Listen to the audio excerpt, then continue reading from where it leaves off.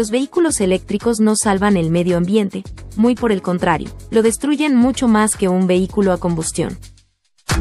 Esta es la verdad de las cosas, la otra cara de la moneda que no siempre te cuentan, donde el sacrificio humano que se utiliza en países como la República del Congo no tiene compasión ni respeto por los derechos humanos, pues aquí hasta los niños son obligados a trabajar días enteros en la extracción de cobalto, un mineral que junto con el litio resulta siendo muy esencial para la fabricación de las baterías que justamente llevan los autos eléctricos.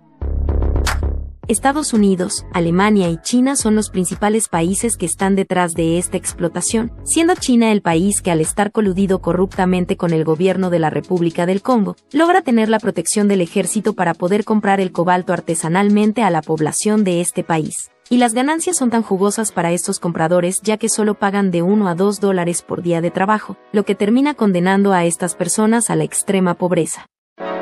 Esta es una de las tantas mafias que no siempre te contarán sobre la fabricación de las baterías, porque justamente aquí es donde está el problema de los coches eléctricos. Sus baterías al momento de ser fabricadas emiten una enorme cantidad de contaminación a nuestro planeta, y las grandes empresas tratarán de ocultarlo para que tú sigas comprando un producto que realmente no es la solución.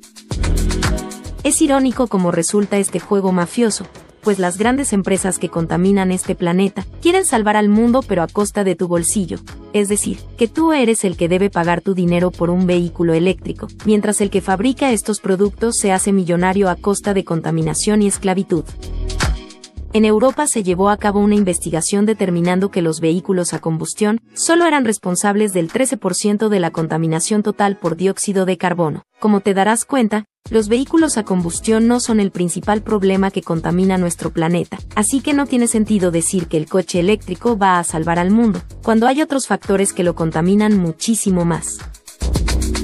Ahora bien, los vehículos eléctricos contaminan 74% más debido a la fabricación de sus baterías, y eso que no estamos considerando la contaminación que se genera después de terminada su vida útil, porque sinceramente, no hay hasta el momento un plan completo de reciclaje que permita recoger nuevamente estas baterías, y al no hacerlo, estas baterías desechadas liberan peligrosas toxinas y metales pesados, que pueden causar enfermedades crónicas a los seres humanos. ¿Sabías tú que para extraer una sola tonelada de litio, se utilizan más de 500.000 galones con agua, o lo que es igual a casi 2 millones de litros? Te das cuenta que por un lado nos exigen que cuidemos el agua de nuestro planeta, pero por otro lado para la extracción de litio, el agua se desperdicia sin control y en grandes cantidades que afectan a nuestro ecosistema. En el año 2020, se extrajeron 18.000 toneladas de litio del país chileno, lo que implica que se consumió un aproximado de 9 billones de galones de agua, y sin embargo, vemos que muchas personas en extrema pobreza sufren por este líquido vital mientras las minas la desperdician sin temor a nada. Otro aspecto muy importante que no te cuentan acerca de los vehículos eléctricos es que la producción deja mayores ganancias que un vehículo a combustión. No por nada Tesla acaba de rebasar a Toyota y a Volkswagen y se han convertido en una de las empresas más valiosas del mundo. Por esta razón, es que las marcas de vehículos en su mayoría se están inclinando para la electrificación, no porque sean buenos con el medio ambiente, sino porque desean seguir ganando enormes cantidades de dinero, ya que en este negocio también están coludidos los gobiernos quienes dan dinero de los contribuyentes a estas empresas, y además, liberan de impuestos a estos vehículos para motivar la compra de los mismos. Además de todo esto, las marcas de vehículos nunca te van a decir lo costoso que es comprar una batería de reemplazo, y debes saber que el cofre de las baterías que se encuentra por debajo del vehículo resulta ser muy sensible a golpes durante la conducción, ya que siempre habrá un tope o alguna piedra que lastime este cofre de baterías. Y es aquí donde algunas marcas como Mercedes-Benz aprovechan para venderte todo el paquete de baterías por más de 30.000 euros.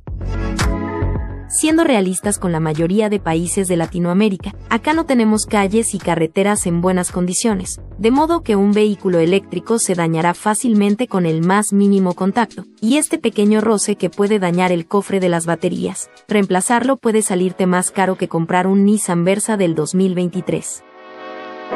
Según Mercedes-Benz, si este cofre logra sufrir un impacto que supere los 2 milímetros de grieta, entonces toda la batería debe ser reemplazada por una nueva, según ellos, esta grieta puede ocasionar la filtración de humedad a las baterías y posteriormente, sufrir un cortocircuito que termine incendiando el vehículo como ves en estas imágenes.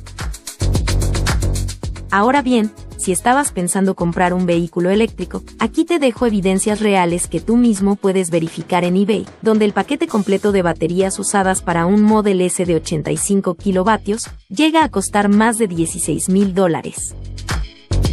Algo parecido también sucede para los vehículos híbridos como el Toyota Corolla Cross, en donde las baterías son mucho más pequeñas y con una baja autonomía. No obstante, cuando con el tiempo las baterías pierden su capacidad de carga, vas a tener que reemplazarlas por unas nuevas. Y ahí está el negocio, pues estas baterías resultan siendo muy costosas.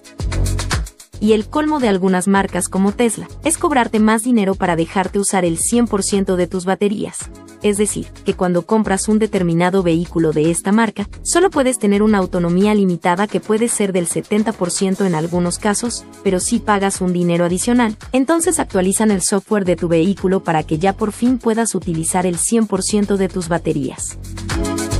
Esta práctica ya es un robo descarado que nos hacen a los consumidores. Por eso es que Tesla se ha convertido en una gran empresa que atrae muchos inversionistas, porque se las ingenian para poder sacarte más dinero a base de mentiras. La empresa BID también es otra compañía mafiosa, y lo peor es que muchas personas están convencidas de que se trata de una gran marca, y es que al comienzo de este video señalamos que los chinos compraban el cobalto por un precio casi regalado, y estas compras en grandes cantidades son justamente para la fabricación de las baterías por parte de BID. Además, Debes saber que BID es una empresa que miente al mundo con el supuesto crecimiento de sus ventas, pues se ha descubierto que esta marca fabrica vehículos que luego son abandonados en estos campos. Y la razón es muy simple, buscan crear unas ventas ficticias para engañar a los inversionistas, haciéndoles creer que BID tiene ventas por encima de las marcas tradicionales. De esta forma consiguen enormes cantidades de dinero tanto de los inversionistas como de los gobiernos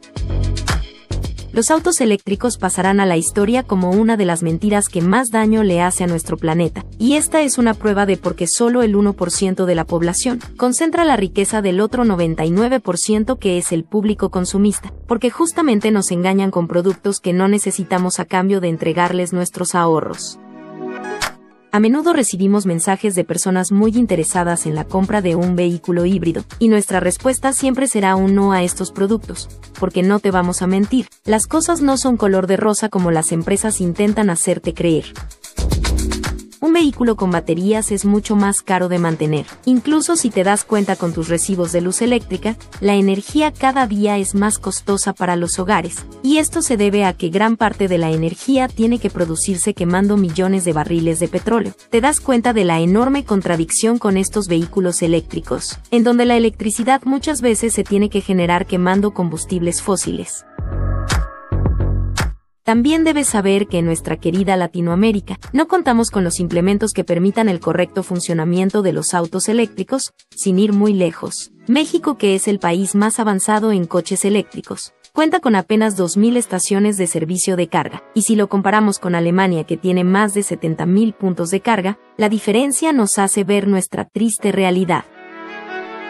debemos reconocer que nuestros países no están a la altura de la electrificación, así que no tratemos erróneamente de sumarnos a la moda de los autos eléctricos, peor si te endeudas con el banco para comprar uno de estos vehículos.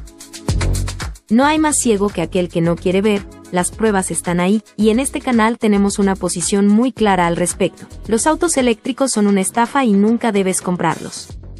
Suscríbete al canal, y que tengas un excelente día.